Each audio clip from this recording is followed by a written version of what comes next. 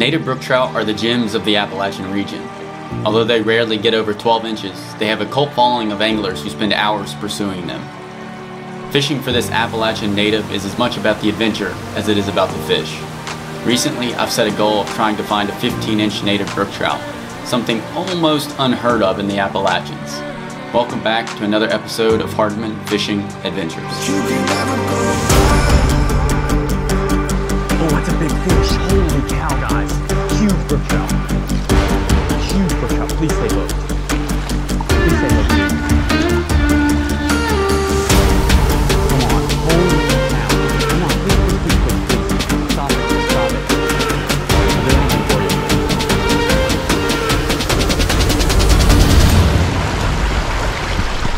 You guys see that hole right there? I guarantee if I can get a fly in there, which I might just literally dap it in, I catch a fish.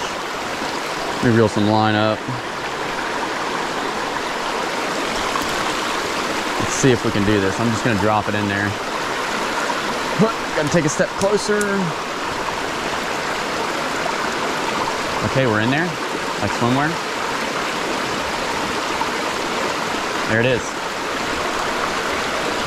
Uh, this is awkward now. I got line stuck on limbs. I mean, I called the cast. We all knew it was gonna happen. Uh-oh, he's stuck. It's actually not a horrible fish. Boat flip. Woo! Hey, that's a nice one, boys. Just had to cast into freaking Narnia to catch him. Look at that fish. That's a nice fish. All right, ladies and gentlemen, check, take a look at this. Take a look at this fish right here.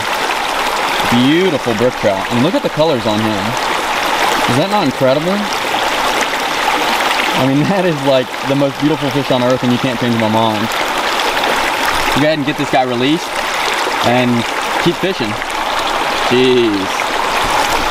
Welcome back to another beautiful day and another episode of Hardman Fishing Adventures. So, today we're going to be fishing for brook trout. Now, yesterday I walked miles into the backcountry and I actually, I did decent. I caught two 11 inch fish. Here's the release of one right here. But basically I wasn't filming for either of the fish. So, I'm coming back today, not to the same spot, but I'm going back into the backcountry again today in a different section of, or a different creek and hopefully I'm going to be able to catch a bunch of fish for you guys and actually string together a good video. Um, I recently caught one of the biggest native brook trout of my life at 13 inches and it kind of came unexpectedly but it's kind of inspired me um, and renewed my faith and kind of looking for like a really mega giant brook trout and by a mega giant brook trout for the Appalachian Mountains that's right around 15 inches. So my goal is to at some point catch a 15 inch native brook trout and basically today I'm just looking for big fish, but honestly, when you look for big fish, you catch a bunch of little fish along the way. So the plan is to just have fun today, relax. It's a beautiful day. It's supposed to rain some this afternoon, so the fish should be biting. And apparently they are, because I've already caught a handful. You guys just saw me catch that gorgeous fish out of that log jam, so let's do it. I'm excited. I'm so excited for today. It's just a good, it's a good reset. It's a good mental reset to go back into the wilderness for a couple days and just relax and have fun. So yeah, let's do it. All right guys, so if I don't catch a fish in here, then I should quit and go home. I'll be honest.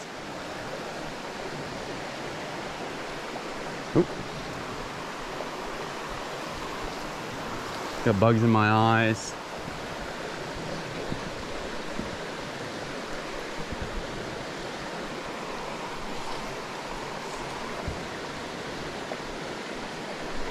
Oh, that was a fish.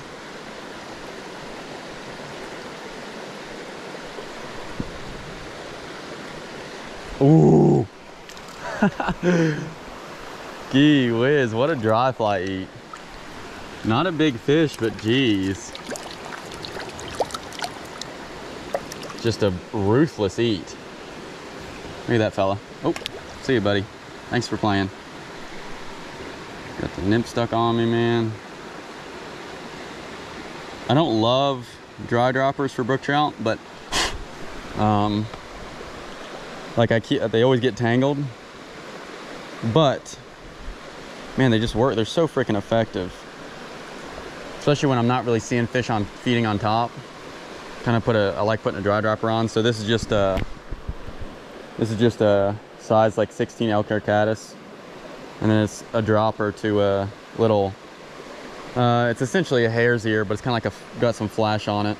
It's pretty heavy nymph, so it gets down pretty quickly in these fast, in this faster water. Um, yeah, that's pretty much what I'm throwing today.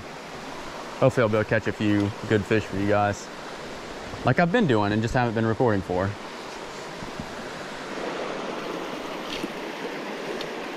Big hole here. I'm gonna start the back end of it there.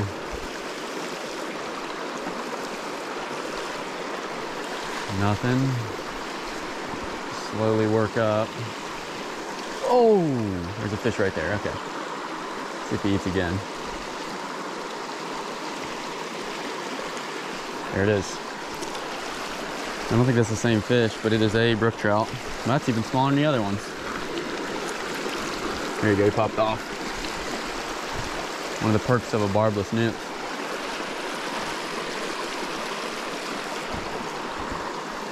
There's a lot of fish right there though.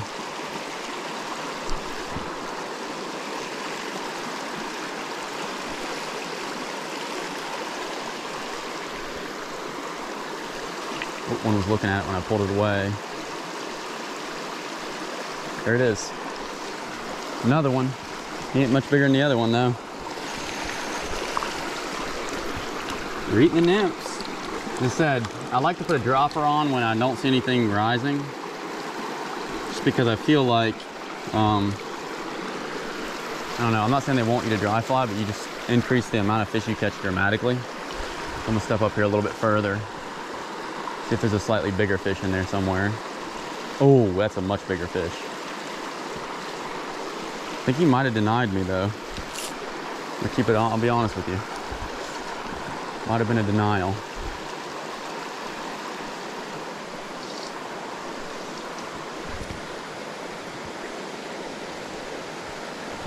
Oh.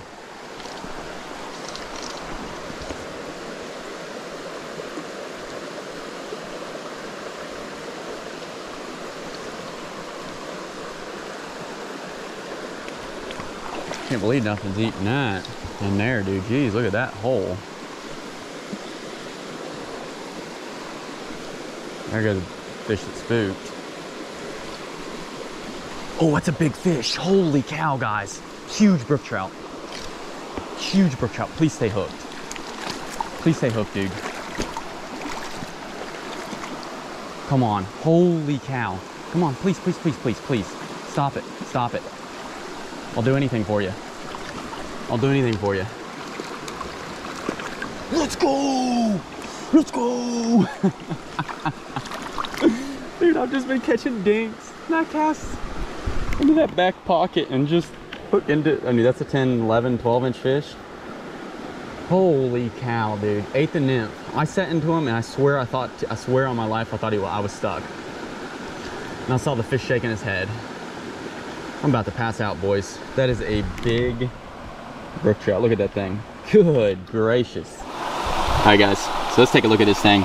This is an 11 pushing 12 inch native all day long. Look how big that thing is. And the colors on that fish are incredible, man. And you cannot tell me that that is not just like one of the most perfect fish on planet Earth right there.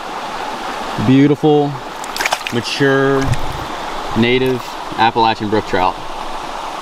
That is incredible. I'm gonna go ahead and get him released and we'll keep going. Now I'm like super hyped up because I haven't been fishing that long and I've already caught an 11 plus inch native. So let's keep going. Guys, we got a hell of a hole here if I can get a good cast in there. A hell of a hole. Getting a good cast is not gonna be easy though, I will admit. Jeez! Literally instantly. See if I can get another one in there.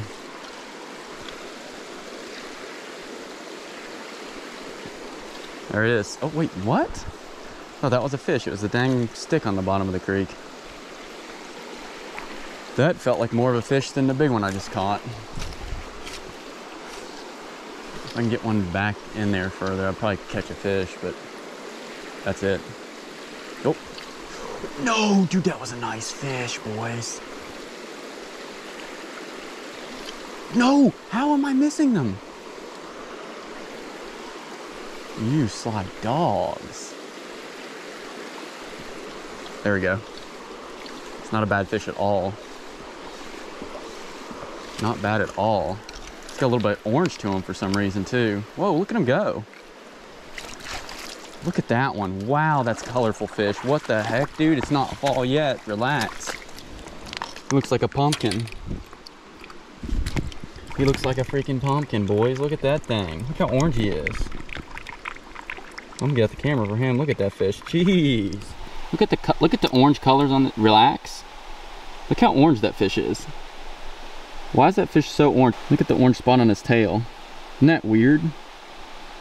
That is just an incredible looking brook trout. Go ahead and get him released and then we'll keep on going. That was a fish bite, I believe.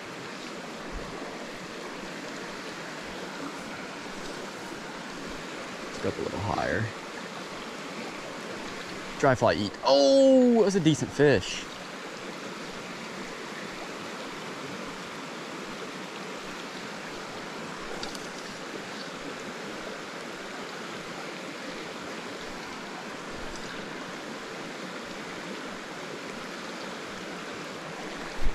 Well, there was a fish in here. I figured that would happen.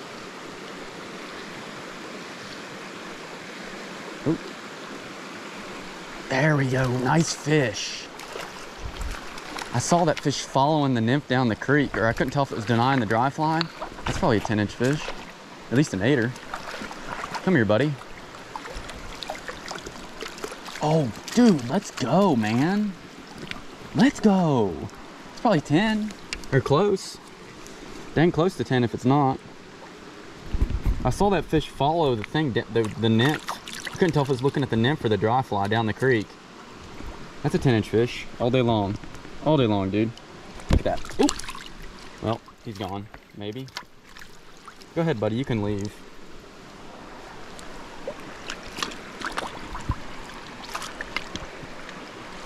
He's gone somewhere. You're gonna try to put him back in the net, but I'll take it. That was an awesome fish. All right, guys, so a little update for you guys. I just sat down, ate lunch. Um, so it's midday, and I've caught that one really big fish, like 11 plus inches. And then I caught another 10 and a couple good fish that were like 8 to 10-ish. So it's been pretty good so far. So I'm optimistic about the rest of the day. This particular stretch of creek, um, I don't think I've fished it before. I can't exactly remember how far up I've come from this access point, but um, I'm hoping to, you know, continue on this good luck for the rest of the day and hopefully catch a few more big fish for you guys.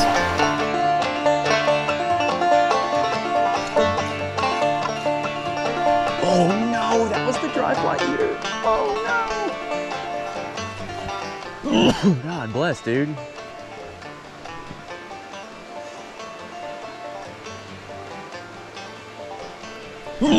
Jesus, dude, there's something blooming in here and I'm just going crazy. Holy cow. Oops. Oh, golly, Ned. Sneezing like nobody's business. Make a cast above this stick. I'm gonna get stuck real quick. I can call it, you know? Fish did eat there. That's a good cast. Got him. Oh, that's a nice fish too. Ooh, hey buddy, how you doing?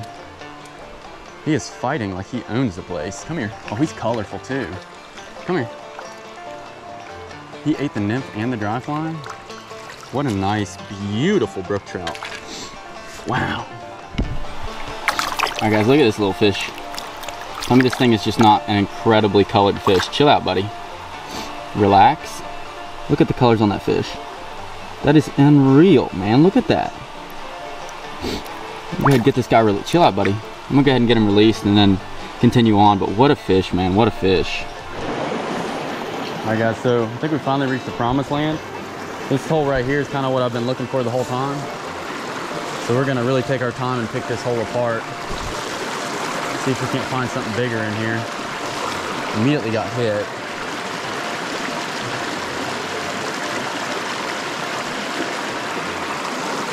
Notice I'm casting the very back end of the hole first. Just to make sure that I'm hitting the fish before I would spook them. Oh, I see a fish following it. There it is. I saw the fish come out for the net.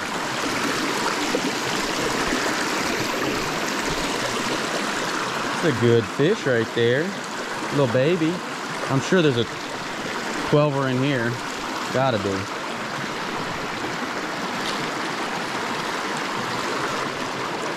Oh, that was a decent fish. Came up underneath the dry fly.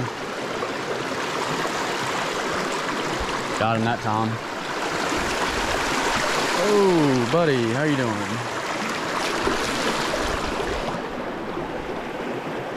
See, you done got yourself wrapped up there, didn't you, fella? Uh, well, maybe you just got me wrapped up. I don't know.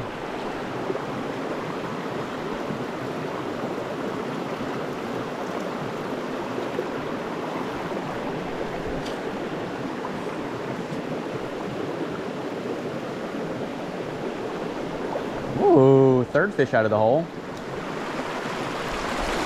I think that's the biggest one yet, but I don't know for sure. Dude, this thing, these fish need to learn that if they get hooked, not to spin like a top, because they keep getting themselves tangled, which is not only annoying to me, but I'm sure it's not fun for them either. Like they do that stupid alligator roll. There you go. Another one just like the other couple. Hey, look at that. Pretty little guy.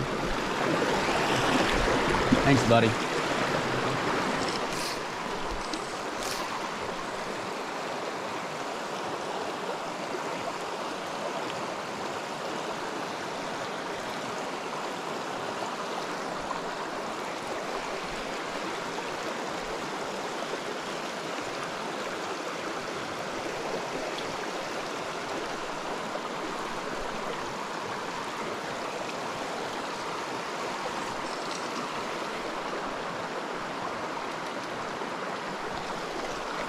Jeez, dude, that's a big fish. Oh, it's a really big fish. Come here, buddy. That's another 11 inch fish. Let's go. Let's go. That's a giant freaking brook trout. And as I hooked this one, I just saw a really big one up there out from this rock. Sip the dry fly. Look at the colors on that fish. Holy cow. Thanks, buddy. Ladies and gentlemen, this is one of my favorite brook trout I've caught in a very, very long time. He's probably 11. Look at the spot color pattern on him. Is that not just an unbelievable brook trout? He's every bit of 11 inches. Um, and that's just like perfection right there. Absolute perfection.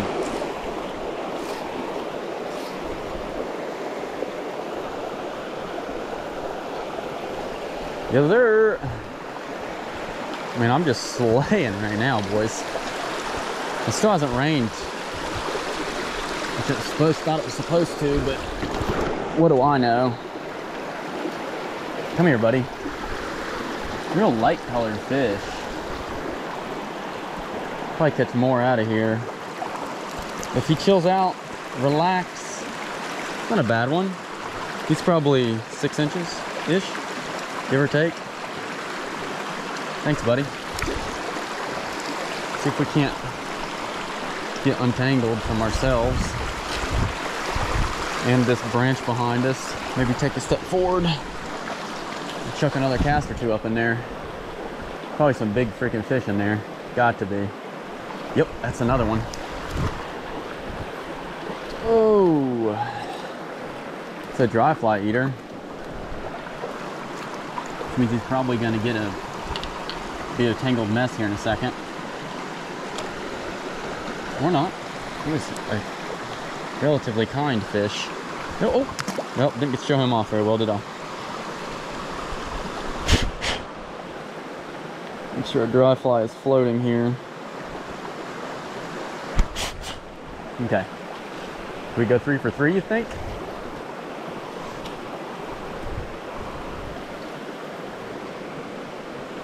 Okay. Hmm, no, I can't. Although I did have a hit, so it was pretty much my fault that I didn't go three for three. All right. Let's catch ourselves another fish.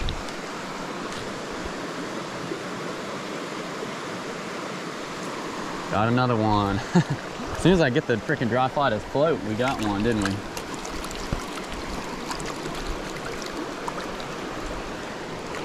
Can you not? Well, I just popped him off because he was wrapping my daggum dry fly around in circles. Let's see if we can get a fish to eat in there, dude. Got him. Not a bad one. Look how dark he is. Come back here, buddy. Ate the nymph. Come here.